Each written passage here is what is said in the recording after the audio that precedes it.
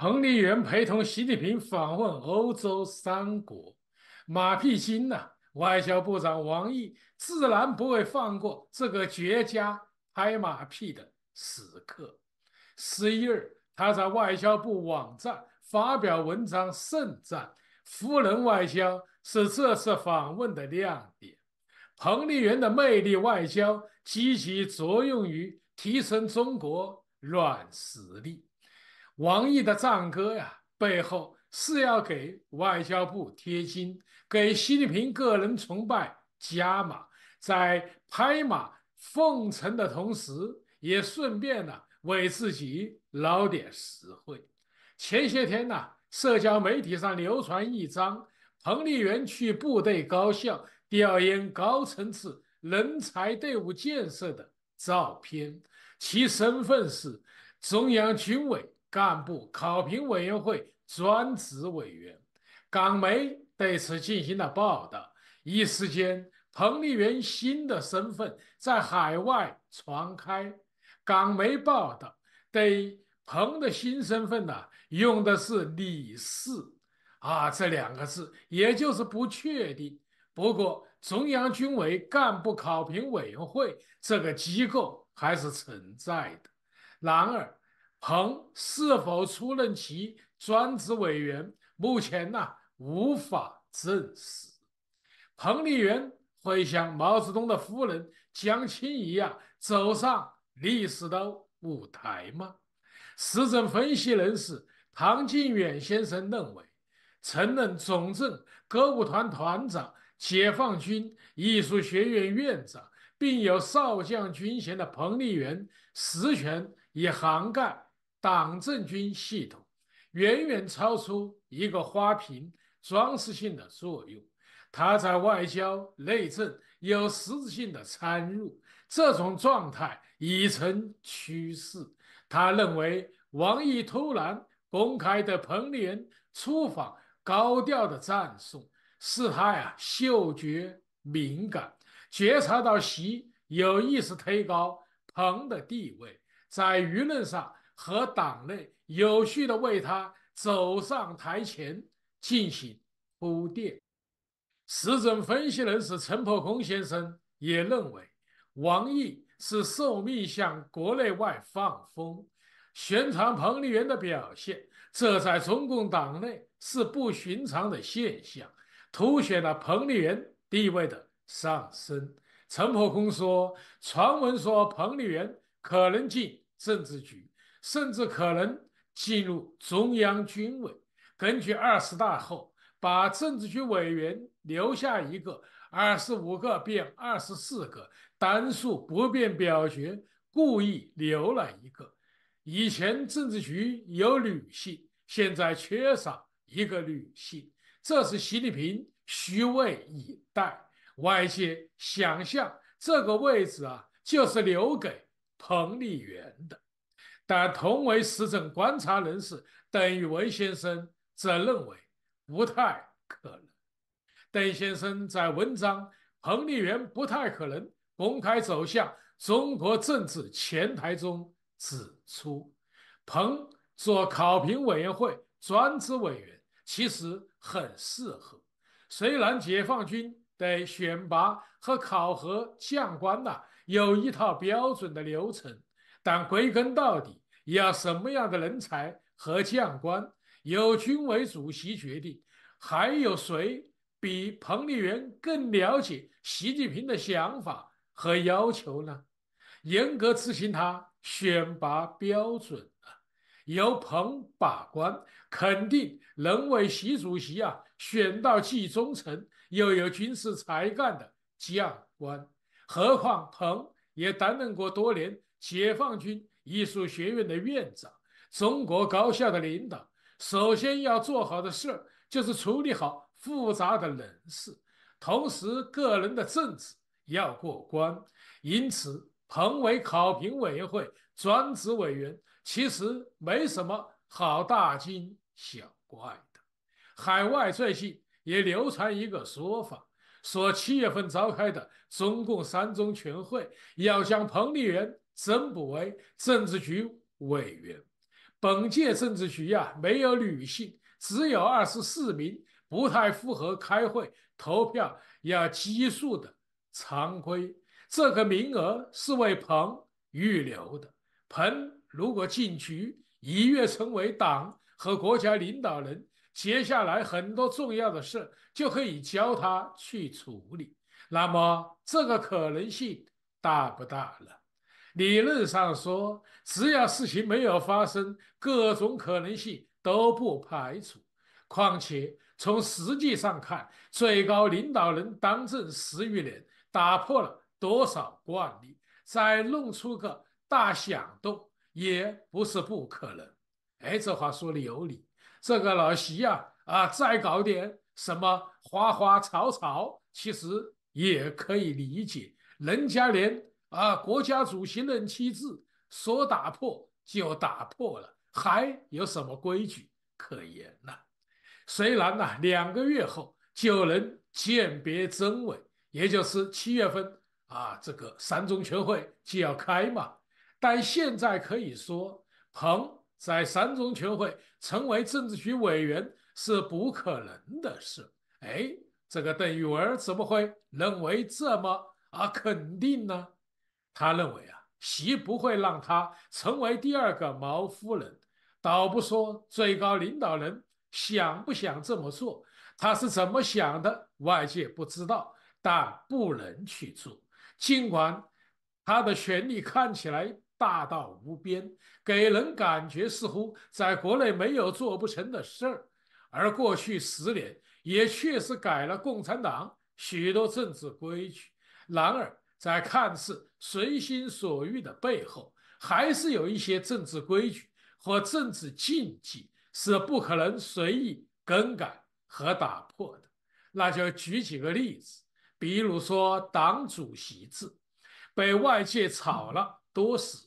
一度认为啊，习在二十大上会改总书记为党主席，这个事没有发生啊。尽管多次修改党章，可党章中载明反对个人崇拜这句话还留在那里。这是为了装门面吗？不是，是不能删。从当局对最高领导人的造神看，要是能删，早就删了。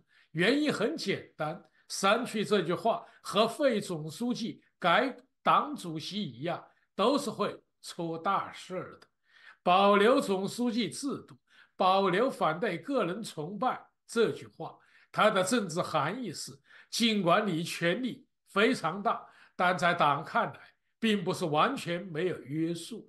因而，个人独裁虽然让很多人不满和无奈，但还是。在可容忍的程度之内，可把这两者都抛弃，事情的性质就完全变了。你公开要就是个人崇拜，就是要从制度上公然凌驾于全党之上，因为党主席制意味着从制度上赋予党主席最后决断的权利，他比政治局所有的成员，比政治局这个集体的地位。还要高，而总书记再加上核心的称号，名义上还是党中央集体的一份子，不能超越党中央之上，所以两者的性质是不同的。废除了他们，等于彻底抛弃了中共自成立以来所得的经验和教训，破坏改革以后得到党内啊。完全共识的所有的政治规矩，这就会威胁到所有人的利益。因此，最高领导人一定要掂量掂量，会不会遭到全党的反对，让第一夫人走向政治前台，也属于这种不能为的事儿，是经历过文革夫人专政的中国人不能接受和反对的。夫人干政。如果凭的是夫人的政治资历和革命的贡献，那不过是换一个性别的专政，就像过去的皇帝和如今的政治领袖专政一样，不是不可以接受。然而，如果不是凭自身的本事，而是凭夫人的身份，被丈夫推上前台，对全党发号施令，人们是不会接受的。即使一时奈何不了，但对背后那个真正专制者，却不见得是什么好事，会埋下祸根。文革垮台和毛形象的崩塌，多少于江青在中国政治舞台的亮相脱不了干系。他的所作所为让全党对他人神共愤，事后看来，实在是起到了为毛政权挖政治墙角的作用。这个历史教训呢，想必如今的政治领导人不会不考虑。也许彭在前台不会像江那样啊，江就是说的江青那样霸道。但问题不在于第一夫人行事的作风，而在于她公然介入党内高层政治，得不到全党的认可。硬要这么做，人们就有理由怀疑习近平要搞家族政治，把共产党政权变成习家政权，将党天下变成习家天下。可以预料。如果最高领导人发出这样的政治信号，无疑把自己和他的妻子啊往火上烤。不出多时，这个政权是一定会垮台的。再从现实看，彭丽媛要在三中全会入局，面临程序难题。彭不是中央委员，他先要解决这个身份，而中央委员是党代会选举的。不是中央全会决定的，过不了这一关也就不可能当选政治局委员，所以这是个伪命题。之所以这样流传，一是最高领导人权力太大，让人们误以为他做什么都可以；二是高层政治的不透明。然而，不管怎样，只要对中共历史有所了解，有一丝正常的思维。就不会让夫人走进政治权力中心的下策。现有迹象也看不到这一点。事实上，习如果有心让彭丽媛品尝权力的滋味，不会现在还是一个军委考评委员会专职委员。从彭二零一七年任命为政治工作部评审委高级委员起。七年过去了，恐怕也该把它放在一个重要的多的位置上才对。显然，习也就是把他啊在这个位置上待着，有限参与对军队干部的选拔考核，替他对军队的人事把关。他是不会让他成为第二个毛夫人，这只会无事生非，掀起不应有的。政治巨浪，您看看这两种不同的观点啊，都出来了。从习个人的性格来说，他颇有毛泽东无法无天的基因，所以让彭丽媛走上政治舞台也确实并非不可能。但从政治理性和谋略上来说，邓宇文的说法有道理，让彭丽媛入局。其实是下下策，但历史啊，往往有惊人的相似之处，也常常令人扼腕长叹和五味杂陈。江青、彭丽媛其实都是有才华的艺术家，但他们很不幸和中国的政治连在了一起，从而改变了他们人生的轨迹。政治使他们风光无限。但他们是艺术家，不懂政治，再加上无法在权力的顶峰控制自己的欲望，最终沦为政治的玩物。如果江青执着于艺术，如果没有政治野心，他的人生也许啊会圆满得多。彭丽媛如果汲取江青的教训，不参与政治，或许在老习败落后。还可得善终，但如自不量力，勇当革命旗手，其结局自然也会令人唏嘘。好，各位观众朋友，今天的节目到此，感谢您的收看。